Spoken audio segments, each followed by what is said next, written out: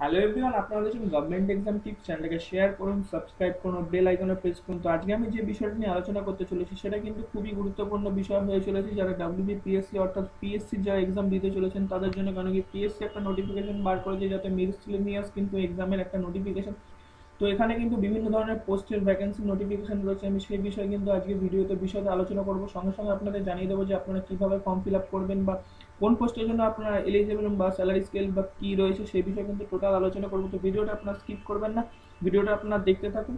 তো চলুন শুরু করা যাক আজকের ভিডিও তো এখানে যেটা আমি একটু আগে আপনাদের বলছিলাম যে পাবলিক সার্ভিস কমিশনের যে নোটিফিকেশনটা ব্যাপারটা নিয়ে একটু আগে আলোচনা করছিলাম, তারই কিন্তু অফিসিয়াল পিডিএফটা আমি আমার ফোন ল্যাপটপের অন স্ক্রিনে কিন্তু খুলে রেখেছি বা দেখতেই পাচ্ছেন যে লেখাই আছে miscellaneous service recruitment examination two thousand এর মধ্যে কিন্তু টোটাল উনিশখানা পোস্ট কুড়িখানা পোস্ট মোটামুটি আছে।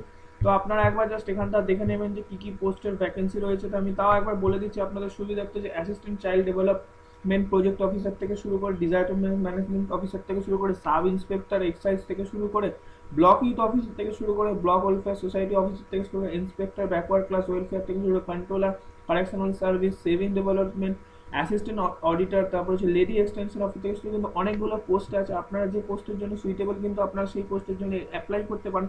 তো এখানে যেটা মেন একটা দেখুন ফন্টটাকে একটু বর্ডার ফন্টটাকে একটু ব্ল্যাক করে লেখা আছে, তো সেটা একটু হাইলাইট করা আছে। সেটা আমি জাস্ট দেখিয়ে দিচ্ছি যে women are unsuitable for the post of sub inspector of excise তো সুতরাং বুঝতেই পারছেন যে সাব ইন্সপেক্টর অফ এক্সাইজ যেটা রয়েছে তো চার নম্বর যে পোস্টটা রয়েছে, সেই পোস্টটার জন্য কিন্তু ফিমেল ক্যান্ডিডেটরা কিন্তু এলিজিবল নয়। আবার সেরকমই কিন্তু মেল ক্যান্ডিডেটরা এলিজিবল নয় হচ্ছে গিয়ে যেটা সতেরো নম্বর পোস্ট আছে এবং হচ্ছে গিয়ে আপনারা দেখতেই পাচ্ছেন যে ষোলো নম্বর পোস্ট আছে। এই দুটো পোস্টের জন্য কিন্তু মেনরাও এলিজিবল নয়। তো কীভাবে কীরকমভাবে রিক্রুট হবে সেটার ব্যাপারটা একটু বলে দিই। প্রাইমারি একটা প্রিলিমিনারি টেস্ট টেস্ট যেমন হয়, যে প্রিলিমস এক্সাম সেরকম একটা এক্সাম হবে, তারপরে একটা মেন্স এক্সাম হবে ফাইনাল এক্সাম হবে, তারপর কিন্তু পার্সোনালি টেস্ট হওয়ার পর আপনাকে রিক্রুট করা হবে। তিন তারিখ, মার্চ মাসের তিন তারিখ কিন্তু এই এক্সামটা হতে চলেছে, দেখতেই পাচ্ছেন। তো আমি একটু পিডিএফ এর নিচের দিকে চলে আসছি, তো আপনারা দেখতেই পাচ্ছেন যে list of preliminary exam centre যেটা রয়েছে, তো মোটামুটি কিন্তু সারা ওয়েস্ট বেঙ্গলের যতগুলো আর কি স্টেট আছে, মোটামুটি সবকটাকেই কভার করেছে। এখানে পঁচিশ, ছাব্বিশটা কিন্তু স্টেট এখানে রয়েছে। সরি স্টেট নয় ডিস্ট্রিক্ট মাফ করবেন। ডিস্ট্রিক্ট রয়েছে কিন্তু, সেই ডিস্ট্রিক্টগুলোকে কভার করা হয়েছে। এই ডিস্ট্রিক্টের মধ্যে আপনারা যে ডিস্ট্রিক্টের মধ্যে পড়ছি সেই ডিস্ট্রিক্টে কিন্তু আপনাদের এক্সাম সেন্টার হবে। এবার একটু বলে দিই যে আপনাদের যে পে স্কেলটা দিয়েছে পে স্কেলটা কিন্তু দিয়েছে মোটামুটি সাত হাজার, একশো থেকে সাঁত্রিশ হাজার। ছশো এবং গ্রেড পে একটা উনচল্লিশ হাজার দিয়েছে, একটা সরি একটা উনচল্লিশশো দিয়েছে, একটা ছত্রিশশো দিয়েছে। তো এরকম একটা গ্রেড পে দিয়েছে। এবার একটু আমি একটু নিচে নামিয়ে আসছি। তো এখানে দেখ বলছে যে মেরিটোরিয়াস স্পোর্টস পার্সন রয়েছে বা যারা এতগুলো স্পোর্টস এখানে দিয়েছে।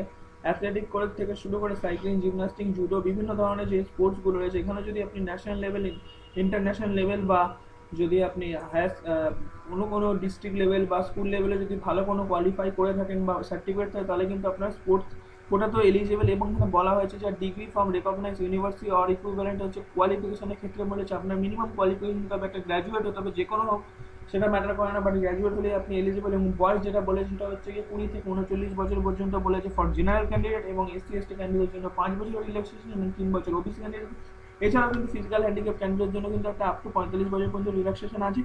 তো এই মোটামুটি একটা এজ রিডাকশনের ব্যাপারে গেল। এবার আমি একটু পিডিএফ এর নিচের দিকে চলে আসছি। পিডিএফ এর নিচের দিকে চলে আসে বলছি যে, আপনাদের ফর্ম ফিল আপের ক্ষেত্রে কিন্তু লেখাই আছে যে একশো ষাট টাকা হচ্ছে যে নেওয়া হবে এবং হচ্ছে কি তার উপর কিন্তু একটা সার্ভিস চার্জ সেটা আপনারা একটু ভালো করে পিডিএফ এই জায়গাটা একটু পড়ে নেবেন। আমি জাস্ট জিস করে সামাপ করে আপনাদের দেখিয়ে দেওয়ার কথা বা দেখিয়ে দেওয়ার চেষ্টা করছি। আচ্ছা এবার বলে দিচ্ছি যে আপনার Uh, STT candidate in West Bengal and person with disability having physical ability of 40% and above are not required to pay fee সুতরাং বুঝতেই পারছেন যে এসসি এসটিদের জন্য কিন্তু কোনো ধরনের ফি রাখা হয়নি। এবার বলে দিচ্ছি যে অ্যাপ্লিকেশনের ক্ষেত্রে কিন্তু আপনাকে প্রথমে যেতে হবে PSC WB application dot in এই ওয়েবসাইটে গিয়ে কিন্তু আপনাদের ফর্ম ফিল আপ করতে হবে। তো আমি ডিসক্রিপশনে তো পিডিএফ এবং লিঙ্ক যেমন দিয়ে দিই, অন্য ভিডিওগুলোর মতো সেরকম এই ভিডিওতে দিয়ে দেবো, সুতরাং সেখানে চিন্তার কোনো কারণ নেই।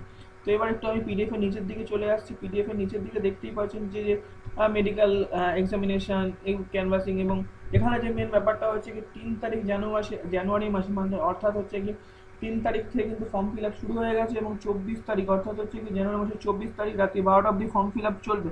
সুতরাং দেরি করবেন না, যারা ফর্ম ফিল আপ করতে ইন্টারেস্ট সেটা ফর্ম ফিল আপ করে নিন। এবং এছাড়া যদি আপনাদের কোনো ধরনের কোয়ারি থেকে থাকে, তাহলে কিন্তু আপনাদের জন্য আমি বলে দিচ্ছি যে, এখানে দেখতেই পাচ্ছেন যে, একটা বক্স করে দিয়েছে হেল্প ডেস্ক এবং এখানে ইমেল আইডি থেকে শুরু করে এভরিথিং কিন্তু আপনারা পেয়ে যাবেন এবং সেক্ষেত্রে আপনারা কিন্তু এখান থেকে হেল্প পেতে পারেন। যদি আপনাদের কোনো কোয়ারি থেকে থাকে, আর এছাড়াও যদি আপনাদের কোনো কোয়ারি থেকে থাকে, এই যেটা বললাম সেটা ছাড়া তাহলে কিন্তু কমেন্ট বক্সে গিয়ে কমেন্ট করতে পারেন। আশা করি আমি সেই কমেন্ট থেকে আপনাদের হেল্প করার সাহায্য বা করার চেষ্টা করব। তো এই ছিল মোটামুটি আজকের ভিডিও যদি ভিডিও ভালো করে লেগে থাকে, অবশ্যই চ্যানেলটাকে সাবস্ক্রাইব করুন শেয়ার করুন। ও আমাদের এই যে এইভাবে এগিয়ে যেতে হেল্প করুন। তো থ্যাংক ইউ